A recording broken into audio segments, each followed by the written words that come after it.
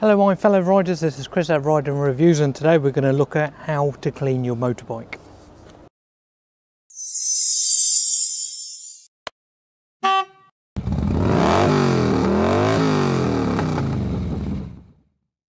Now as you can see from some of our previous videos, I have actually done a video on this very bike and it was about a month ago so this is the first service um, and look at the state of it, it's pretty dirty.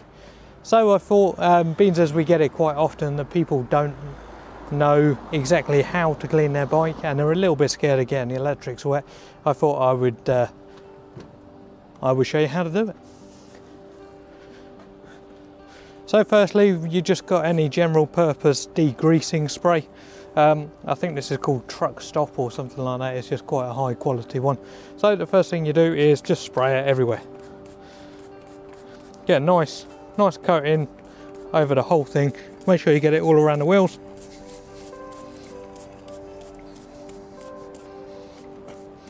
Inside on the suspension up the back.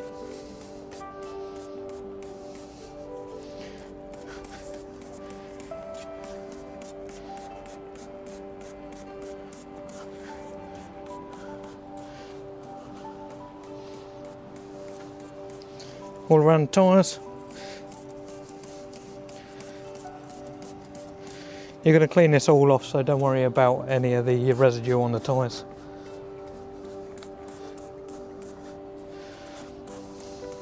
Just get it everywhere, it's not going to damage any of the paintwork or the seat or anything like that.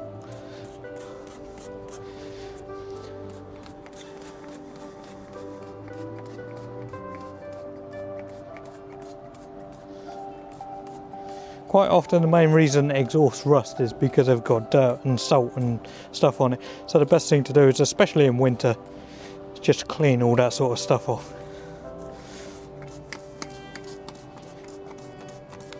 All the electrics for the bike are up here. So as long as you're always squirting down and never up, you should never have a problem with um, getting your electrics, a problem with getting your electrics wet.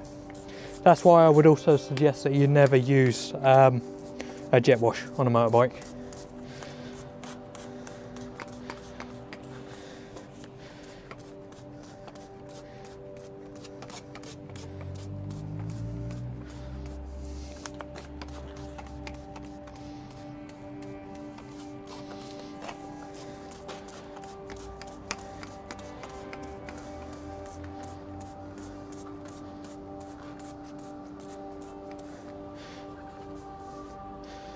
So I'd also suggest you get yourself a good quality sponge and a nice brush. So go around and just make sure it's all rubbed in.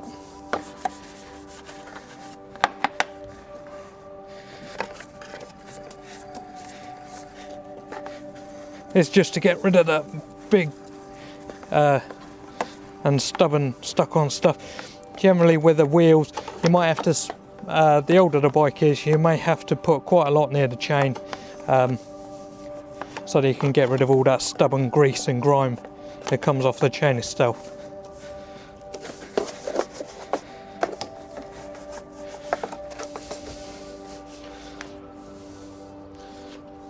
So as you go around, give it a little bit of a squirt.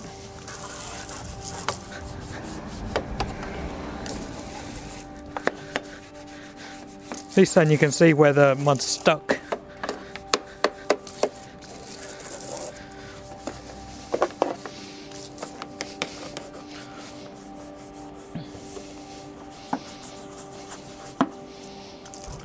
I generally use these sort of brushes just for the wheels and then you can go around with a sponge for the rest of it.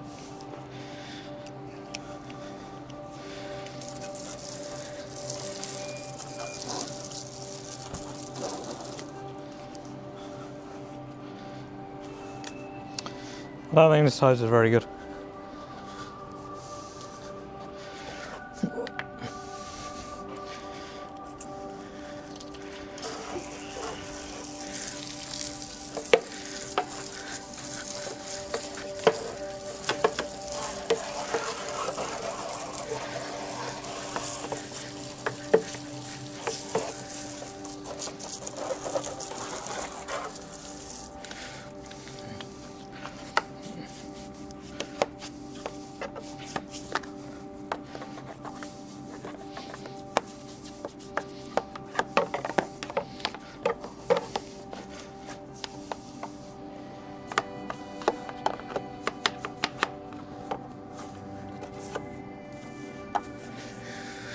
Obviously, you guys are going to take a lot more care and affection and all that on doing this. I'm just showing you the premise.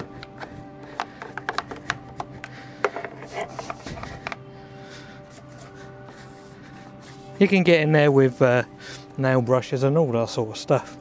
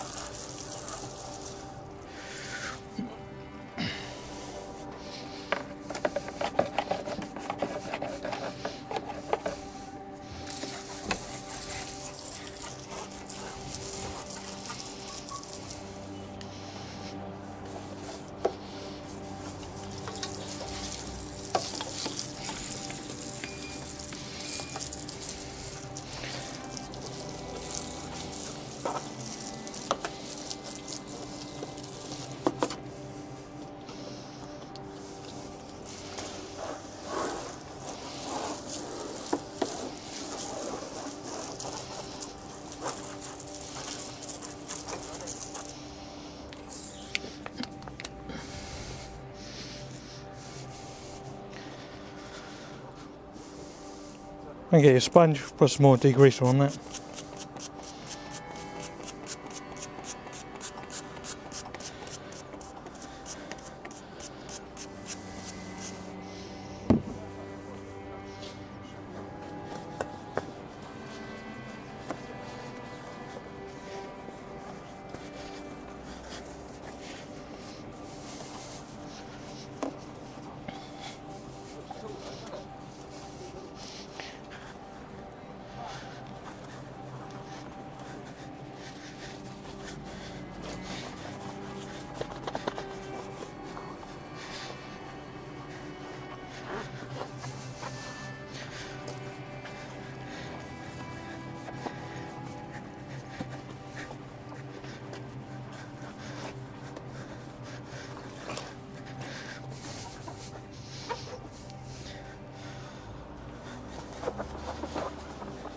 Trying to get into all those little nooks and crannies.